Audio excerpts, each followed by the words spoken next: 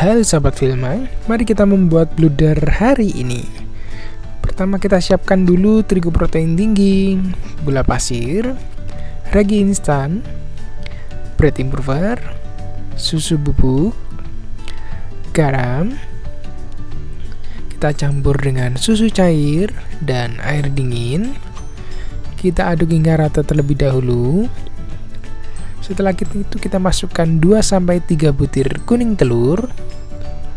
Kita uleni hingga dia 3 per 4 kali terlebih dahulu. Kita cek kurang lebih seperti ini. Kalau sudah 3 per 4 kali kita masukkan sisa kuning telur.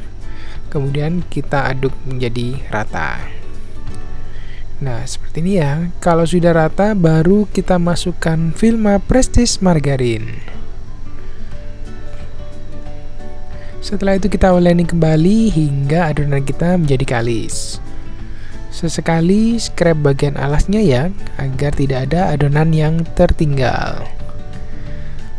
Nah, kalau sudah kita cek kekalisannya, kurang lebih hingga kalis seperti ini. Kalau sudah kita angkat adonan dan kita bulatkan di meja, setelah ini, kita akan istirahatkan adonan selama kurang lebih 15 menit. Tujuannya agar adonan menjadi rileks kembali. Setelah 15 menit, kita akan buka adonan dan kita akan potong masing-masing 60 hingga 65 gram. Untuk loyang bluder yang ukuran kurang lebih 8 cm ya. Kalau sudah lanjut kita akan bulat-bulatkan adonan kita. Bulatkan agar halus ya kulitnya. Kalau sudah kita istirahatkan kembali selama 5 menit. Lanjut kita siapkan isian coklat, keju, dan sesuai selera. Kita akan tarik pipikan adonan dan kita lipat seperti di video. Sebanyak tiga kali. Tujuannya agar serat dari bluder bisa lebih tipis kalau sudah kita pipihkan sedikit untuk memberi isian. Nah, kita lebarkan ya. Setelah itu kita beri isian secukupnya sesuai selera. Mau isi apa aja bisa. Setelah itu kita kunci kembali. Bungkus dan rapikan agar bentuknya bulat dan kulitnya rapi. Setelah rapi, kita akan letakkan di atas loyang yang sudah dioles tipis. Lanjut sampai semua adonan selesai.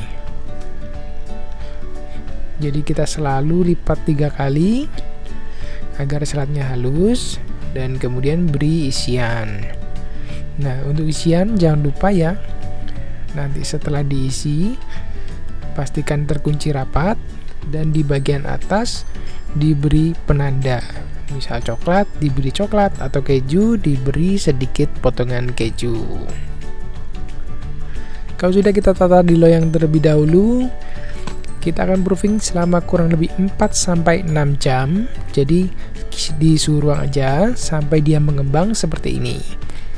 Nah, mengembangnya sampai di bibir-bibir loyang ya. Kalau sudah lanjut kita oven. Kita akan oven dengan suhu api atas 170 dan api bawah 190 selama 15 hingga 18 menit. Nah, ini bisa dilihat dia akan mengembang lagi dari ukuran sebelumnya. Tapi untuk luder setelah keluar dari oven, nanti karena dia isinya lembut, dia akan kempis kembali. Nah, bluder kita sudah matang. Kita coba yuk. Kita keluarkan dulu dari loyang. Kita akan sobek, lihat seratnya seperti gimana.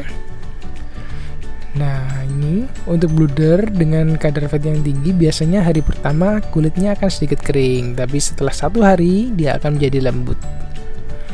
Ayo kita coba. Hmm, enak nih. Nah, cukup mudah kan sahabat Filma? Selamat mencoba.